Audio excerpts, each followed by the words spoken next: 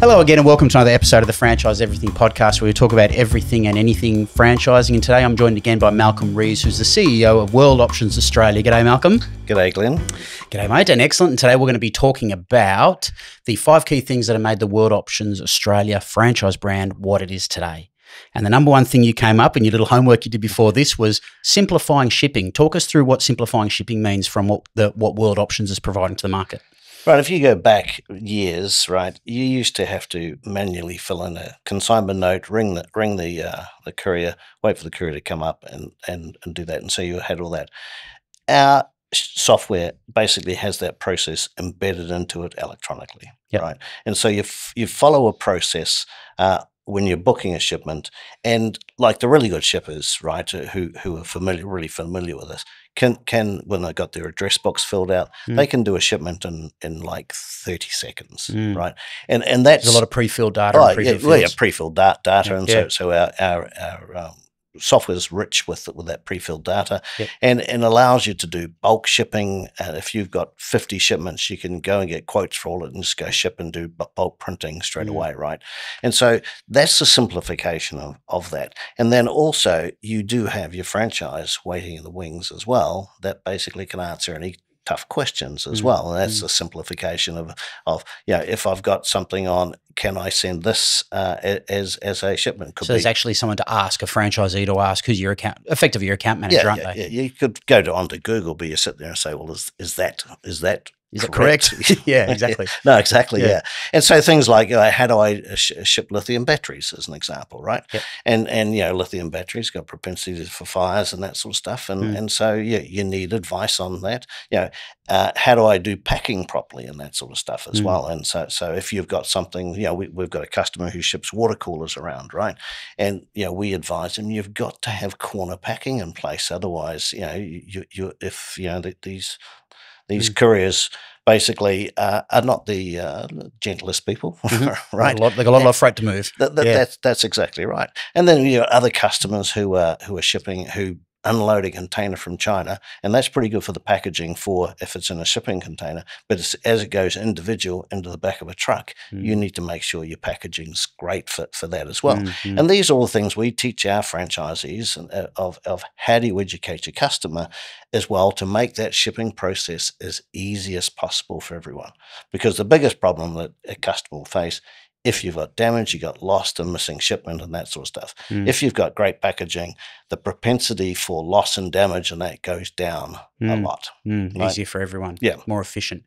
All right. That leads on excellently, actually, to the second point that you came up with, and that was a key differentiator being for your business is the franchise owner. So the franchise owner in their territory. What What do you mean by that? Yeah. Well, look, yeah, it, you, we, we target small and medium sized businesses, and you're dealing with a lot of business owners, and they want to be ma- making sure that they get the best deals, uh, and they trust the people who are who are servicing them. Mm. It could be electricity, it could it could be you know uh, office supplies.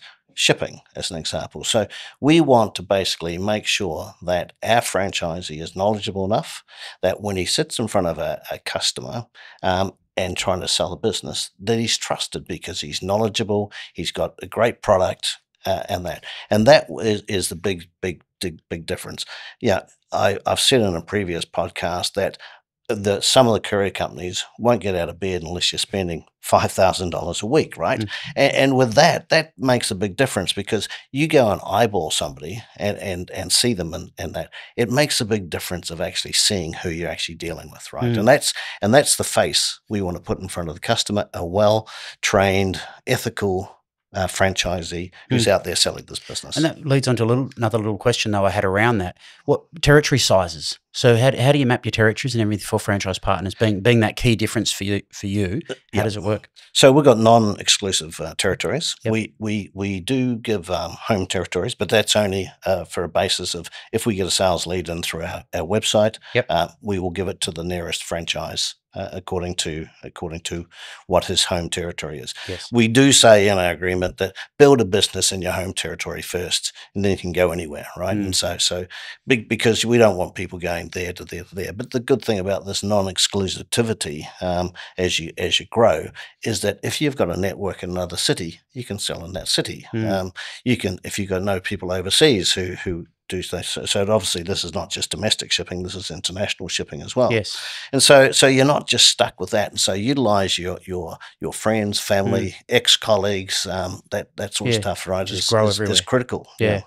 Okay, so the third one you wanted to talk about, um, as far as one of the five key things that have made you what you are today, um, is this knowledge hub. You've mentioned it a couple of times to me today in various things. Tell me, tell me about this knowledge hub you've created. So, so we have, d- you know, we, we have invested in a learning management system where we want to basically bring all the knowledge that a franchisee should have. Things from how do you run your business right, right from get go? What's good business practices? You know, what's the industry doing? Right? Um, you know, how do I use the portal properly? What are the features I should be selling in the portal?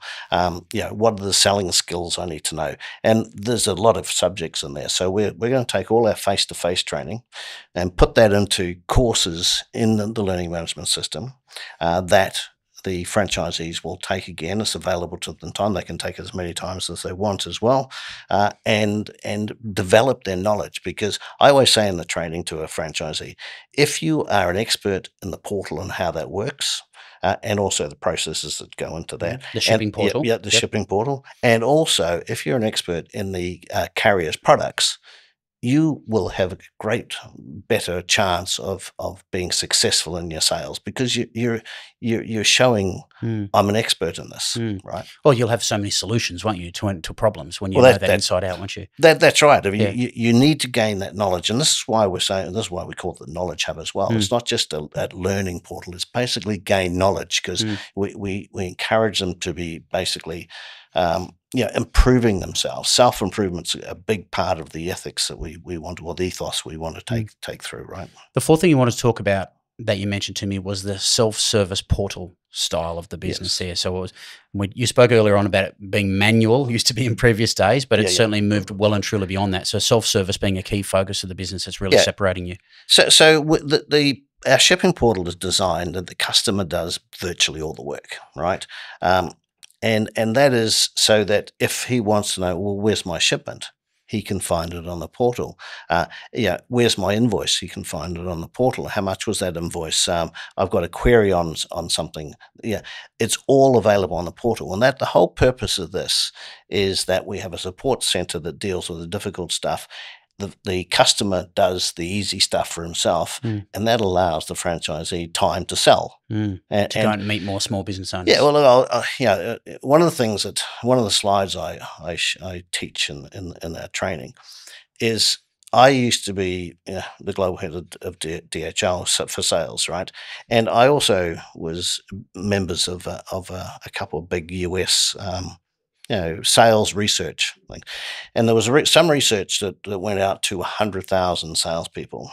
And it says that on average, salespeople are only only selling for twenty two percent of the time uh, out of a day, Mm. and the rest is taken up with basically operational Yeah, I was gonna problems, say and the admin or ops people. coffee, and that sort of stuff, right? Yeah. And admin and all that sort of stuff, right? Mm. You know, we want our salespeople to be, be above, you know, sort of seventy percent selling, and and this self service portal allows them to do that, Mm. right? And so that is that any problems, yeah, we've got a support group that helps solve those, doesn't solve them altogether, Mm. but helps solve. solve So this self-service portal would take a lot of pressure off franchise owners, wouldn't it? That previously might have been there. Absolutely right. Yeah, Absolutely. With, with all these small questions that probably they probably get asked fifty times, fifty Well, yeah, times a yeah. week. Thing is that when you're trying Yeah. to make a sale and your telephone's continually going off, Yeah. um, you, you, you're distracted, right? Yeah, especially with the problem, makes it even Yeah, more yeah. concerning. Exactly. All right, and the the fifth one, the fifth one we were going to go on was I know we've you've mentioned this a couple of times this morning as well. Uh, as as far as a key thing that have made world options what it is today is the nature of the industry you're in. Okay, so the growth industry. Can you talk talk through that because this is quite an interesting thought process. Well, you look at the compound annual growth rate of logistics, and Mm. this is all the readings you, you, you do in this. It's five to seven percent annually, year on year on year on year. So the so, so the growth is great. It's not like you're uh, in a uh, food and food and beverage where uh, people, you know, people have not got the dollar in their pocket to go out and have have have a meal Mm. out, right? And so so and that would drive a quite a big drop in the earnings of, of a restaurant or a cafe or something like that. People generally, if they're trying to do business, they they can't skimp on shipping simply because Mm. that's the heartbeat of their business. That is the sale delivery, yeah, yeah, isn't it? Yeah, Yeah. exactly. And so so we are not totally uh, recession proof, but Mm. there's there's a lot of Because that gets thrown around a lot, doesn't it? Yeah, that it- phrase. It, does. It Mm. does. Yeah.